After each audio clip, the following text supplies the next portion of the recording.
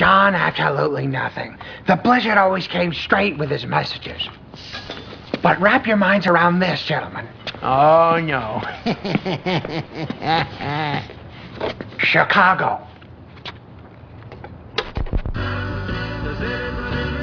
I love this song.